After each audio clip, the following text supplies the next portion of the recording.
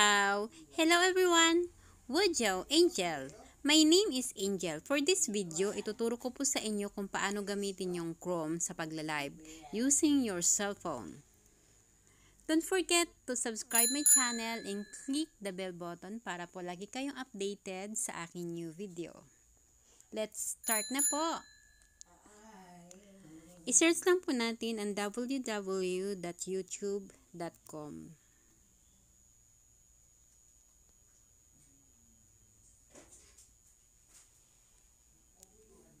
Tapos po mayroon po ditong tatlong dot. Pindutin po natin yan. I-check po natin tong desktop side. Okay po. Makikita po nyo dito itong camera. Yung may, yung ano siya, style camera. Pindutin po yan. Makikita nyo po itong may tatlo kasi dyan na ano eh, upload video, go live, and create post. Pindutin po natin yung go live.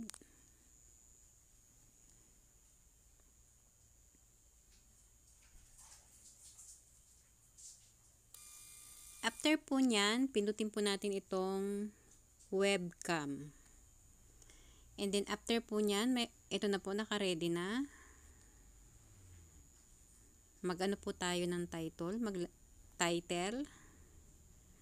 Maglagay po tayo ng title. Kasi yan kasi nakaano na tong akin. So halimbawa po LS number 26 um,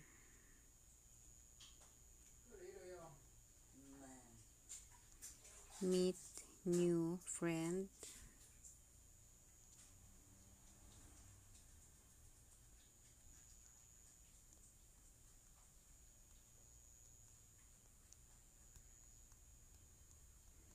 Sa title naman po, kayo po ang bahala niyan.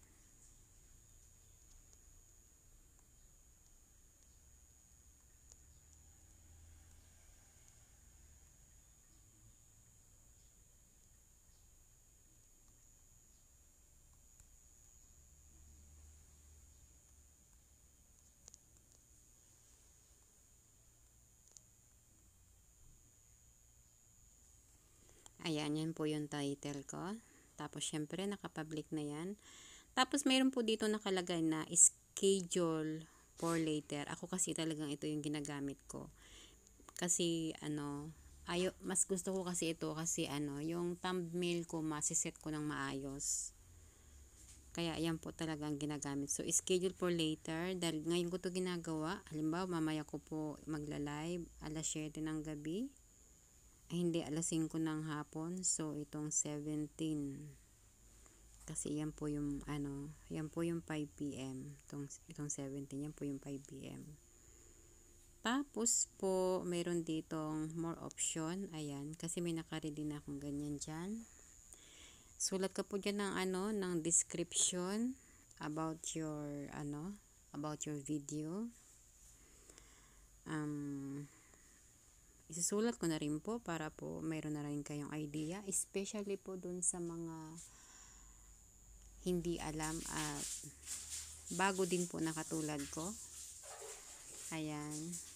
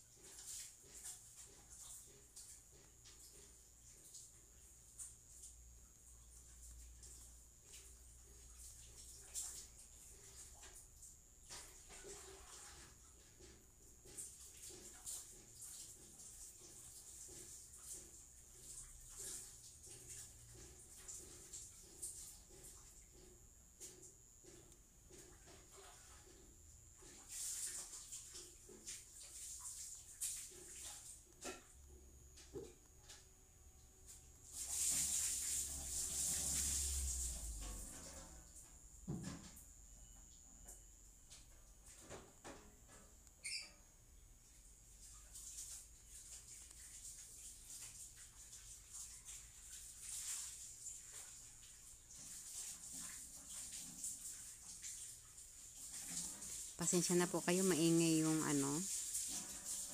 Maingay talaga dito sa ano ko kasi ano. Naliligo yung boss ko. Wala man kaming ibang ano dito na ano. Dito lang po yung area ko.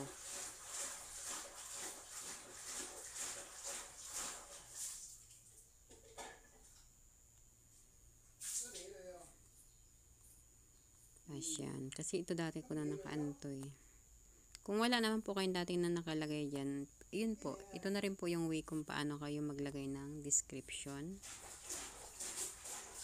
Tapos, next po. Yung next. Eto, next. Yan po.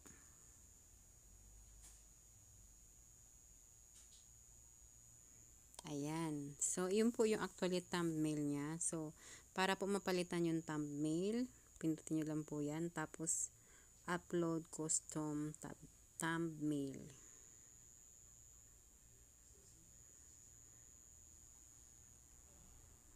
Ayan. Done. So, ayan na po. Okay na po siya. So, ang live ko po ay mamayang alas 5. Idan po natin or or kung halimbawa nagbagong isip mo, i-go live mo na siya. Ito na yung go live. Tapos, pwede mo rin po siyang i-share sa Facebook. Pero ako naman kasi, idadan, idadan ko na lang po ito kasi pwede ko din naman siyang i-share mamaya. Ayan po. Thank you! Ayan, mayroon na akong upcoming na live stream mamaya alas 5 ng hapon. Tapos kung i-live mo na po ito, i-check mo lang po itong live stream, i-check mo rin po itong dalawang box. Ay, opo, tapos pindutin mo ito mismong ano, itong may thumbnail mo. Tapos go live na po nun mamaya, ha? Okay po. Thank you!